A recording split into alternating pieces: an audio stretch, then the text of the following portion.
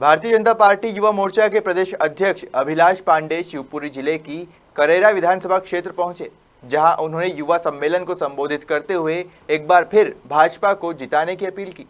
इस दौरान उन्होंने मुख्यमंत्री शिवराज सिंह चौहान को कुआँ और भाजपा प्रत्याशी जसवंत जाटव को बाल्टी बताया।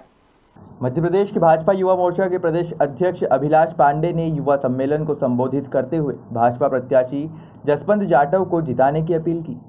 अपने संबोधन में शिवराज सिंह चौहान को कुआँ व पूर्व विधायक जसवंत जाटव को बाल्टी बताया। अभी शिवराज रूपी कुएँ में एक बाल्टी में ही सड़कों का विकास हो गया। दूसरी बाल्टी में मंडी का और तीसरी बाल्टी में अन्य विकास की चीज़ें निकल कर आ गई।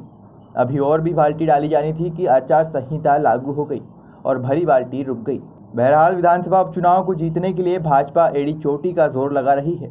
और लगाए भी क्यों ना? क्योंकि उपचुनाव का परिणाम ही भाजपा सरकार के आगे का भविष्य तय करेगा कि वो सत्ता में रहेगी या नहीं। शिवपुरी से कपिल मिश्रा की रिपोर्ट।